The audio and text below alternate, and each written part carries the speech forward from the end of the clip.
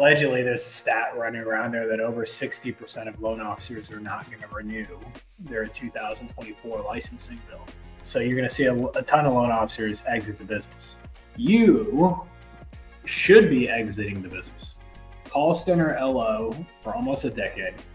No realtors, no referral partners, no nothing. Now you're excelling in the business, doing three to four closings a month, and it's all purchase realtor based. So, what was it about you that other people can learn from that you should have been one of those stats that left the business? What is it about you that kept you in the fight and now you're now you're winning?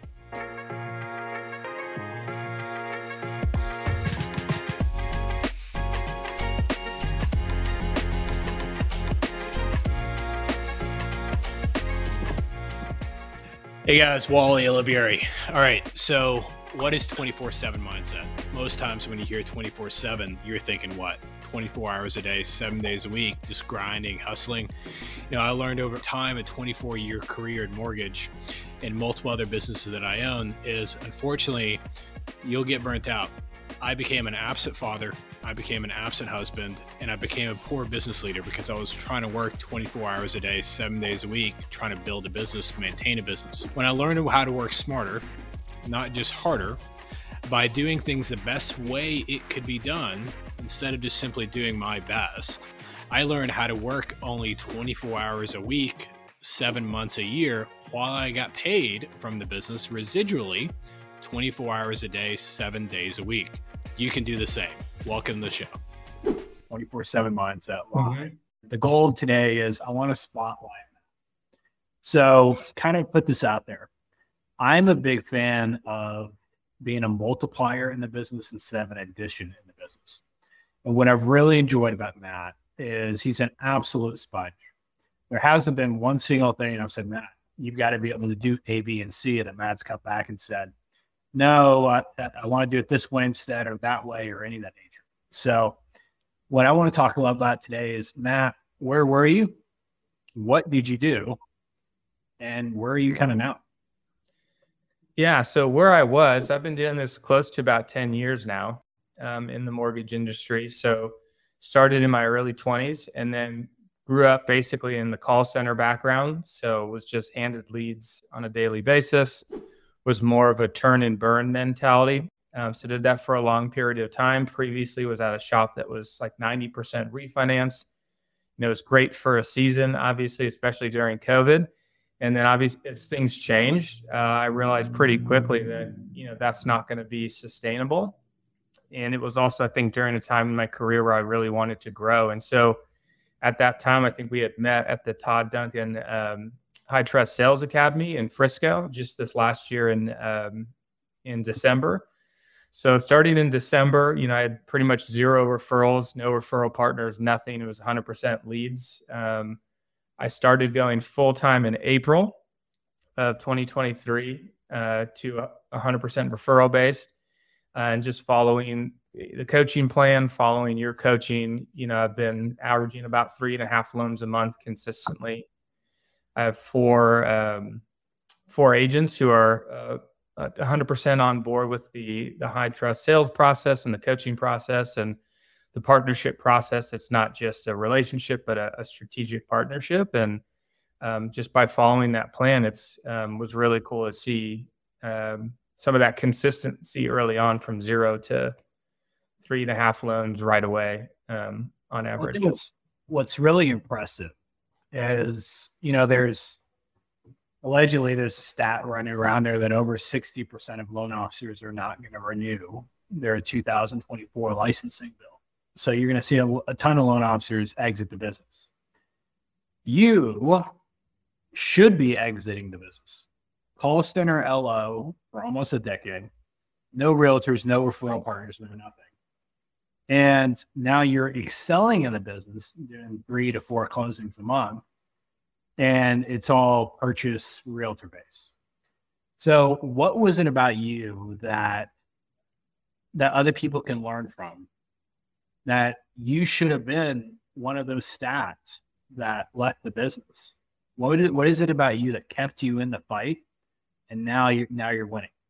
Yeah, I think uh, I mean, I love mortgages and I love how we serve people. And I think um, to answer your question, it's not really about me, but more of a testament to the process, right? And just goes to show, hey, if if this guy who had no experience uh, building relationships with realtors or other affinity partners um, can hop into that uh, that type of business just following a set plan from people who have gone before me and have done it very very successfully like yourself um, well then i can do it too. And so uh, it's really like you always say just those daily little steps um, consistently that over time build up. And so focusing on you know uh, with my coach just my one thing for this year and, and instead of trying to do the million things i could do that a lot of loan officers are trying to tackle just focusing on uh, one or two really specific things that will help me build my database which you know we talked about will eventually be my data bank.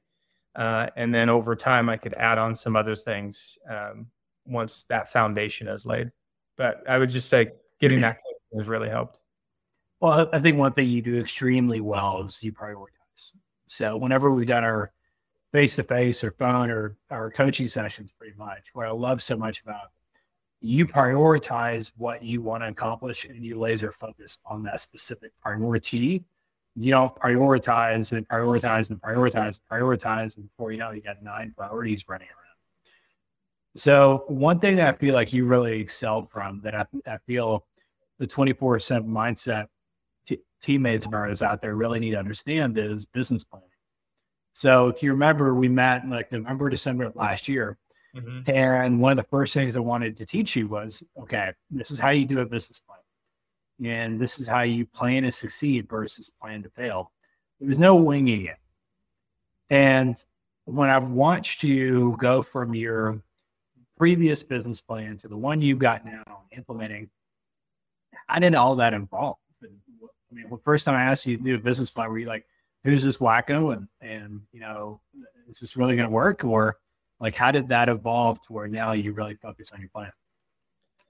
Yeah. So at first it was hard not to compare because, you know, we saw people like you or some other uh, loan officers who have done what you've done very successfully. And it's like, well, they've got a concierge team and they've got their social media dialed in and they've got this and they, so they have like six or seven prongs that they do very, very well. And I'm like, well, how do I do all of that right now? And just realize very quickly, I can't do all of that right now.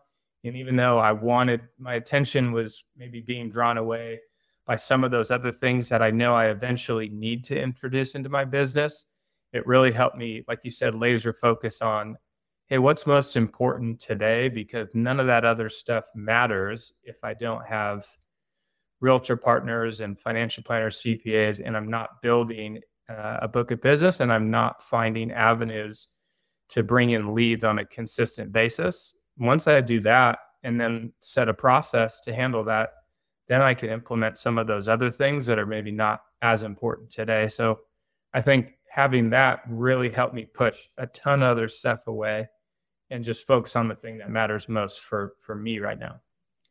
Awesome. So I think what's also super cool is um, your ability to understand the model and the unfortunate thing about our business, there's a lot of super talented people in our business, uh, but there's not many super skilled people in our business. And what, what was so exciting to watch you blossom was you focused more about the skills than you did the talents. And one of the skills that we talked about, we've, we've done coaching on, was truly loving on your clients. And when I saw that Facebook post, you made it last week or so, about the handwritten notes that you're putting out there. Like it, it warmed my heart because I know how big of a difference you make in your clients' lives. How did that evolve? Where how that idea come about, and you know what results have you seen from that?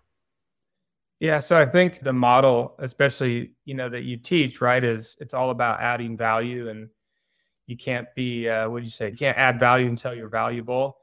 And so uh, realizing that, okay, I have to find out what my, you know, uh, unique value proposition is, uh, and then harness that while implementing the model. And so, um, you know, realize I did not good, do a good job in the past of taking care of clients and letting them know uh, how much they mean to me and serving them well so that they become uh, they become my marketing for me, referring people for me, and then of course doing some of the other things to extract those referrals. But yeah, it was re- it was really cool. I mean, last week I was able to send out uh, nine thank you cards, and and those were all from referrals from agents or financial planners or agents past database by doing mortgage efficiency checkups. Where even a couple months ago, maybe I was sending out one a week, and this week I sent out nine.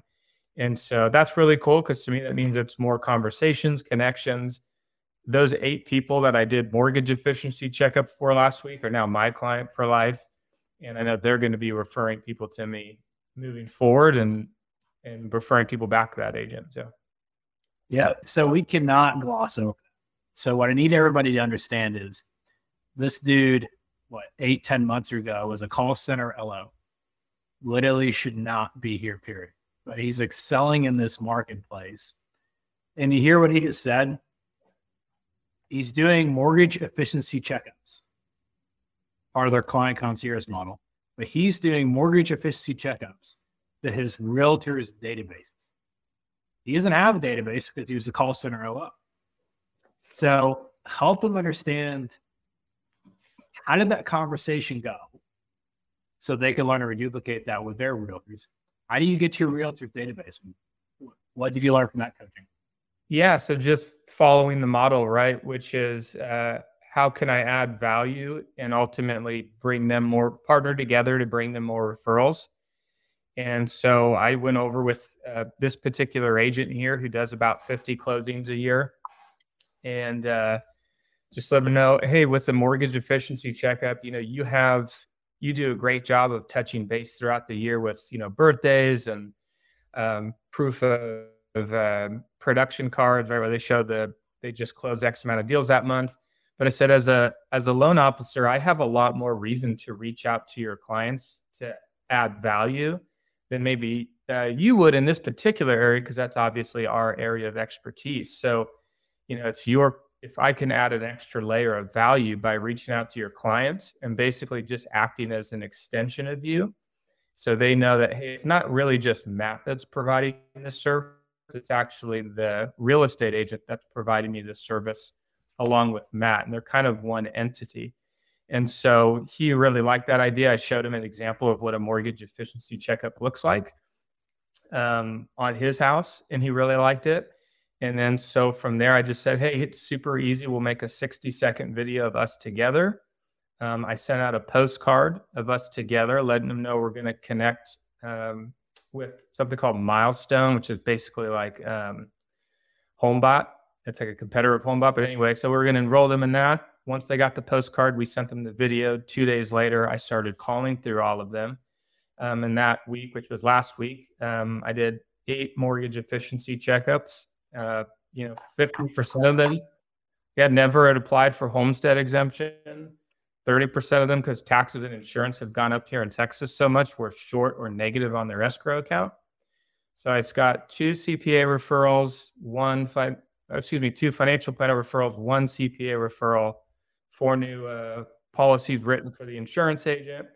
Um, and then found out one guy was going to be retiring and wants to sell his house to set an appointment with the realtor to list his house and then found out one guy was moving out of state and is moving into a state I can help him with. So I have a, a consultation with that guy tomorrow to help him buy his house in the new state. So very productive just from one week. you are an absolutely flipping rock star. Oh my God. So went to, you met some old guy in Plano named Wally. You learned mortgage efficiency checkups you learn how to adopt a realtor's database.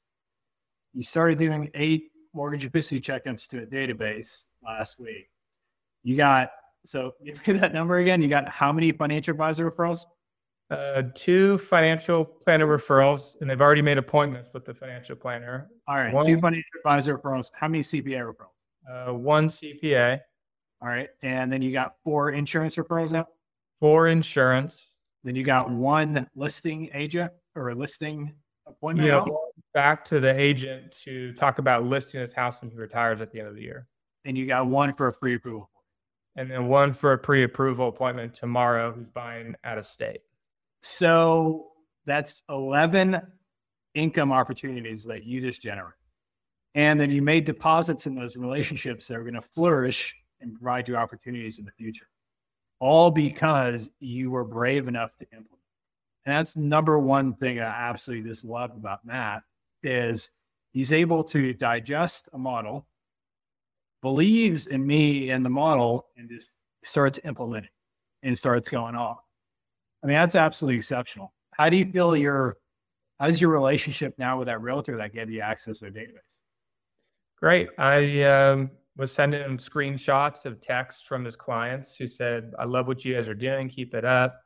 I sent him emails breaking down. Uh, uh, I, I sent him an email recap of our conversation and the forms and whatnot, and included him on those emails. Um, and he loves that. I mean, he picks up my call now every time I call him, and he loves the fact that I'm actively looking out for him to get his clients back to him so he can close more transactions.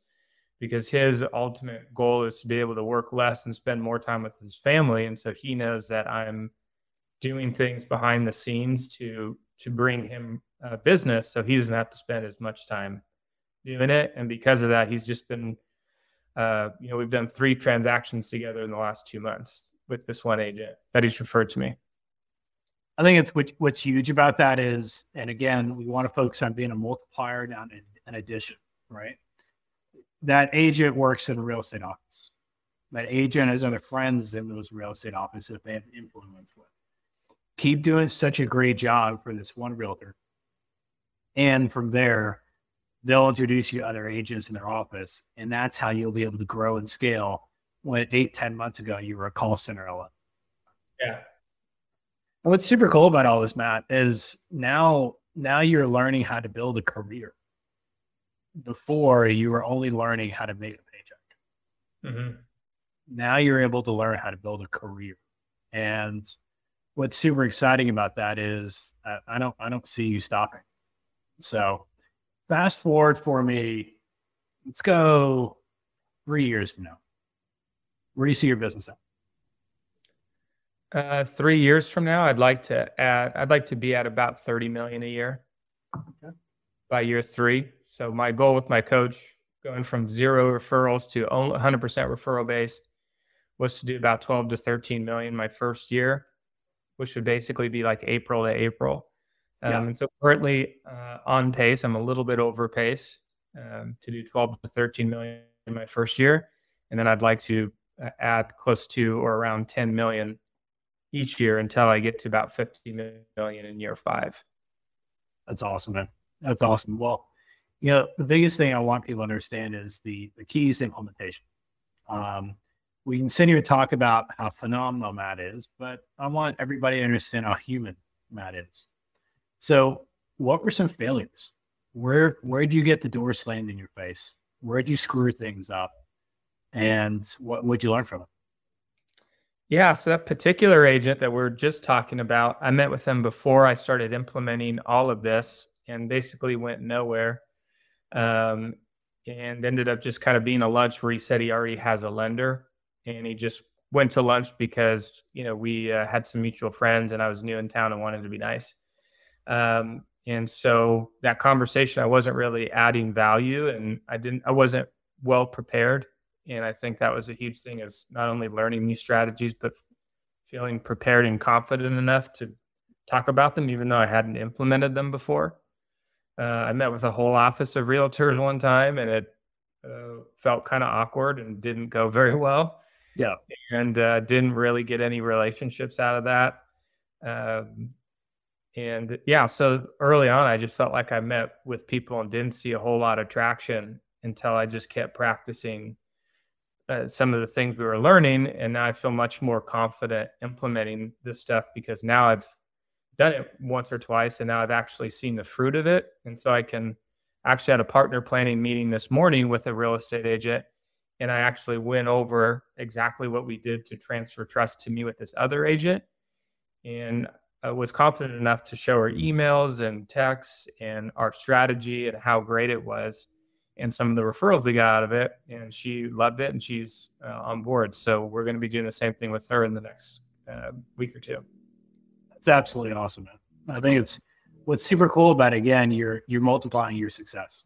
And the the the unfortunate thing out there is so many people don't have the tools that you've learned and all they can do is addition their success. You becoming a multiplier it is helping you focus on how to be a professional in this game called mortgage instead of just an amateur in this game called mortgage and just you know running after checks. So, um, how has this kind of impacted your family life? Uh, it's been great. So we're actually going. I think before it was a lot harder to take time off, right? Because I mean, you know how your pipeline works; it's always rolling, so you always have to be working. And the call center, of course, you make less, and they're also very, you know, it's all about but Keep your butt in your chair. And uh, whereas this, it's it, the buck stops with me. So if we're not producing, it's it's on me to make changes, which I actually really like. Um, and it's although it's a lot more work up front, laying the foundation. Uh, I would definitely say I'm less stressed, even though it's uh, more unknown because I'm the one getting the business. Uh, you know, my wife and I are taking a week long vacation in two weeks, and just being able to turn turn everything off and knowing that I have uh, a team in place to kind of help me fund out anything that's going to close that week or take any calls for applications. And um, so yeah it's a lot less stress. And you know i think a lot more in love with the business than i was you know even during covid during the refinance boom.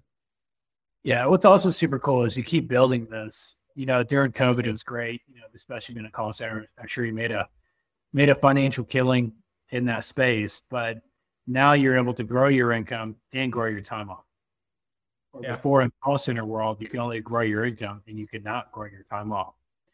I'm a big fan of, hey, how do I build a business plan? How do I build a model that not only doubles my income, but also doubles my time off? And if you have to look through those lenses, you'll be able to excel at every level. Mm-hmm. Yeah, so that's exactly what I love about it. And I love that, uh, obviously, like you've seen in your success, it's consistent.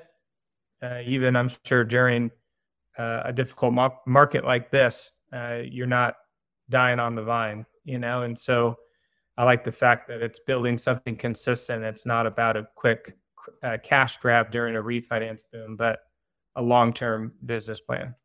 Yeah, absolutely. Well, good, man. As we kind of wrap up, I've asked you a ton of questions. What questions do you have for me? As I'm kind of uh, continuing trying to uh, grow my relationships with my my realtors, I think on top of that, I'm also trying to learn to add value to financial planners or div- divorce attorneys or CPAs. And I think I'm in that place where I was back in December of kind of starting from relatively zero there of, uh, you know, what tools should I be utilizing? What books are you reading? You know what what are some ways we're adding value to because uh, they've loved what i have to say uh, but i think implementing beyond that of let's start working with your database seems to be kind of where i'm finding a little bit of resistance. Or i shouldn't say resistance but standstill well i think what you have to acknowledge and what you have to understand matt a realtor a cpa a family will attorney an insurance person a uh, financial advisor, a divorce attorney, an estate planner, all of them have the same challenge. So the same number one challenge. And it's client retention, which means adding value to their clients. So the same way that you learn to add value to a realtor's database is the same way you're going to add value to a financial advisor's database, a CPA's database, and so on and so on. So what I always say is what my the series of questions I talk about is, is say say you're a financial advisor. So Matt, one thing that's made me really successful in my business is every year I take the worst part of my game, mortgage game, and I focus on it for 12 months until it's the best part of my game. And if I consistently do that, where am I going to be three years from now, 10 years from now, so on and so on. So where do you feel the worst part of your financial advisor game is right now? I'd probably say eight out of 10 times they go straight for client retention, adding value, um, anything to do with like a database. Right. So then I want to expand that. I want to create a little bit more pain. And the pain that I like to create is, well, tell me a little bit of what is that caused in your business? Was that cause or cost? Cause. So what did that cost? Well, I lost this much money, or I lost these many clients, or this client moved some of their assets over, whatever the case is. Well, what have you tried, Matt? Uh, then you tell me all the things that you tried. Clearly, all were unsuccessful. Then I ask you, so what do you plan on trying next? I want to, I want them to understand that I'm the solution to the big pain I just created. And if I'm the solution, I always say, well, the way that I, I've experienced the same frustration that you feel, the way that I've learned to be able to succeed in that situation is mortgage efficiency checkups. So these this is the value that I add, and that's where I got the referral from my realtors database to be able to refer to you, Mr. Financial Advisor, like you did earlier. Mm-hmm. And that's what I want to continue with you. So, may, with your permission, can you please send me over your mortgage statement? All my rates at 2%, Wally. I don't care. That's perfect. 2%, 1%, 0%, doesn't matter. Let me do a mortgage efficiency checkup for you. Let me show you my mortgage coach total cost analysis. Let me show you my mortgage coach or whatever software that you use. So you can see what type of value I add to my clients. And hopefully you'll give me the opportunity to add that same kind of high value to your clients and help you with that client retention because I'll be a third party endorsing. Yeah. This is recorded and it'll be in the, the private, private Facebook group 24 7 months. out. So you can go watch it again. But I'd say that's that's your next milestone that I'll love to see you go over. Now, one thing I want to remind you, we've talked about this before, and this is really, really important, is that you've done a great job getting a realtors database. You've done a great job pulling out referrals. You've done a great job at giving out those referrals, but you're not a doormat. You are not a doormat. You're not Mother Teresa. You're not just going to give for the sake of giving. You've got to receive back. The way you receive back is have clarity up front. And I sent you a referral last week or yesterday. Do you have anybody you want me to talk? Oh, you don't have anybody today? Okay, I'll, I'll follow you up. Follow up with you end of the week. I'll follow up with you next week. Be brave enough to ask for referrals back in return of the referrals that you're giving. Mm-hmm. So first year I tried to do this, I gave out. I don't know. It was, it was some stupid. It was like 70 some odd referrals in the first like quarter of the year. And I got like four back. And it was because two major reasons. I was too big of a wuss to let them know, hey, up front, I'm sending you a referral, but I want a referral back. Number one. Number two, I just felt it was a goodwill of man or woman to refer me back. And you give and you receive naturally. Life doesn't work that way. You've got to be in their process. And when mm-hmm. I learned on a consistent referrals, successful people have a model. It doesn't matter if you're a CPA, financial advisor, whatever the case is. I needed to be injected at this specific part of the model. So for me, for a financial advisor, they do an annual financial review for their clients. So my response is, well, how how much of a heads up do you get documents from your clients before you do the annual financial review? Say about 30 days. Okay. Here's what I want you to do. I want you to ask for a copy of the mortgage statement when you um, ask for those documents 30 days before you read it. So I got them to inject that in that process. And I got with the assistant that receives those documents. And I said, when this mortgage statement comes in, email it over to me. What I'm going to do is I'm going to make a mortgage coach total cost analysis with a recorded video. I'm also going to make them a whole lot. So when the financial advisor is meeting with the client to do the annual financial review. They click on one button, my video plays, and everything is right there, right in front of them in the conference room. And what's going to be super cool about that is, hey, if you want to reach out to Wally, great. If you don't, this is a free service. Um, but I get a ton of referrals from when they do the annual financial review and play my video.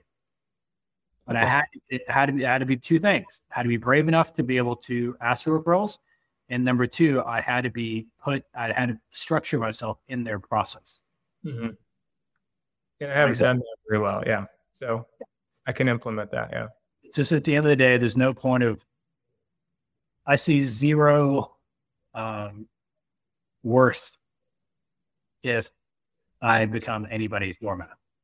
I know the value that I bring by generating referrals. And when I refer a CPA or a financial advisor, I need them to see the same value in me for them to want to refer me. Mm-hmm. So I'll, I'll, definitely keep the accountability up on my end to you. Um, but that's probably where I'm going to take some of our coaching moving forward that you've got to be able to give and take, not just get. Yeah, that makes sense. Cool. All right. Great. Any closing words?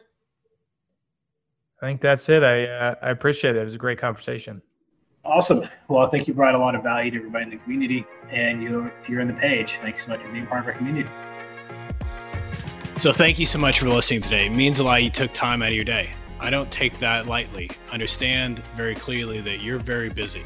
With that being said, if you want to continue your journey and learn more about 24 7 Mindset, if you're on Facebook, which I'm going to guess you are, then go to 24 7 Mindset on Facebook and join the private community. I do coaching tips on there on a daily basis, but from scripts on there to systems on there, models, and the ability to be able to grow and scale a business while you have a quality of life. Hope to see you there.